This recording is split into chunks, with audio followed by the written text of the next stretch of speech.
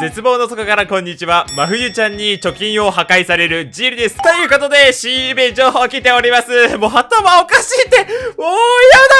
こちら予告イベントリラックスティータイム開催について、かなでちゃんバナーやってきましたいやー、かなでちゃんバナーね、1%くらいの可能性で来るかなーって思ったら全然来ちゃいました。マジでびっくりだし、ツイッターでも無事トレンドに載っていました。まずは公式の説明文見ていきましょう。ホワイトデーが近づくある日、かなではバレンタインでチョコをくれたエナたちやお世話になった人たちへのお返しを考えていた。何がいいかと悩んでいると、いちかも同じことを悩んでいると知り、ということで、ホワイトデー限定イベントとなります。かなでちゃん、そして今回もう一人ピックアップのいちかちゃんはどちらも去年のね、バレンタイン限定として登場していたメンバーで、まあホワイトデーで限定はないだろうと予想していたんですが、全然バレンタイン限定メンバーもホワイトデーで来るということなんで、来年以降のバレンタインホワイトデー、なんなら今後の季節系っていうのは、これまでピックアップされたメンバーでもまたね、ピックアップされる可能性があるということで、かなり怖くなってきましたね。そして今回のイラストなんですけど、ジャージ姿で紅茶を入れるかなでちゃんっていうシチュエーションがもう面白すぎるので、早くイベントストーリー読みたいですね。ではイベント詳細見ていきます。開催期間が2月29日15時から3月6日20時59分ということで、この後ワンダショのワールドリンクイベントがあるので、開催期間が7日間のかなり短いイベントとなっています。イベントアイテムの交換など注意してください。そして今回月末ということでチアフルライブです。今回のテーマは、紅茶好きなのはどっち？グループハーブティーとジンジャーティーですね。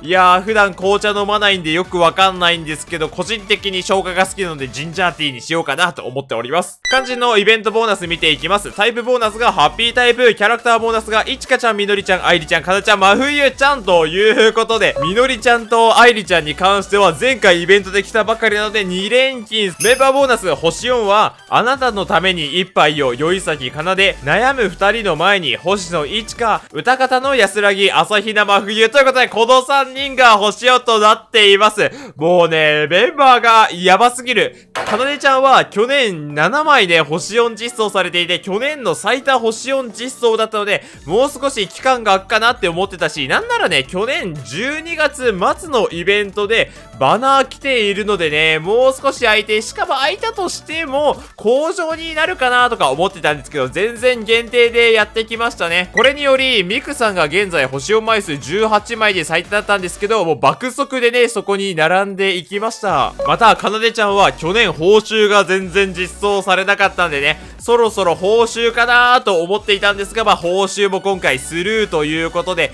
次の報酬は4月になってからの25の工場イベントになるかなって思います。続いていちかちゃん。いちかちゃんは1イベ上げて、ほなちゃんバナでね、星4になったばかりのメンバーとなっています。この1イベ上げて星4っていうのを最近やりすぎじゃないですかね。小羽ちゃんもやったし、はるかちゃんもやったし、今回はいちかちゃんともうこれがね、昔はあったらやばいくらいの感じだったのに、今めちゃめちゃ連打してきています。運営さんさすがにやりすぎだと思うので、もう少し控えてほしいですね。最後に、朝比奈真冬ちゃん。まあ、真冬ちゃんは結構予想していたんですよ。限定メンバーとして。まあ、個人的には、真冬ちゃんとあんちゃんプラスレンくんとかかなっていう予想だったんですけど、まさかのね、かなでちゃんと合わせてくるという、まあ、言うて、真冬ちゃんは前回の限定で見ると、去年の4月だったかな水木ちゃんバナーイベントから来ていないんで、かなり期間が空いていました。星4については去年の12月で、これまたかなでちゃんと同じ時期に星4登場しているって感じなんで、まあ現在のプロセカの周期で考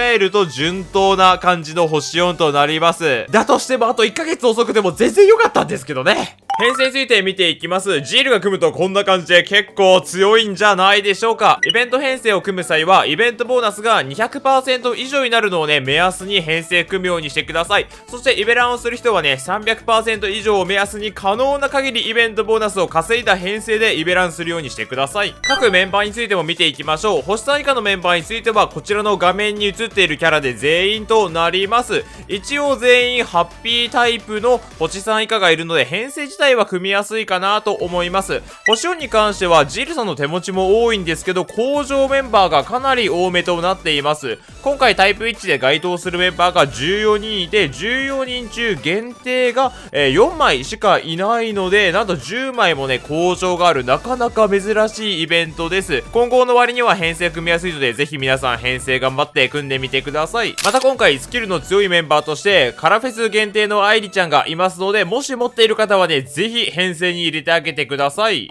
では最後にイベント予想の話軽くしていきます。まあ、今回のメンバーで割とイベント予想が大きく変わるほどのことはなかったんですけれども、とりあえず3月の下旬はビーバスの箱イベントでまあ、ほぼほぼ間違いないかなと思われます。イベントの発表自体は今日の夜行われるプロセカ放送局でね、書き下ろし発表があると思うんですけど、メンバー的にはやはり東野くんバナーで星4については割と謎ですね。あんちゃんが今月末限定来るかなとか言ってたんですけど、来なかったので、えー、あんちゃんも工場星4の可能性がありますし、全然小姉ちゃん、あきとくんもあるって言った感じですね。まあ、あきとくんは3.5周年限定バナーの可能性あるかなって感じが個人的にはしています。そして現在ね、限定がほぼほぼ1年近く空いているあんちゃんなんですけど、今回限定来なくって、去年ね、2.5周年で限定が来ているので、3.5周年で限定再ピックアップっていうのは可能性低いのかかなと思うので、次の限定は4月以降になるんじゃないかなと個人的に予想しています。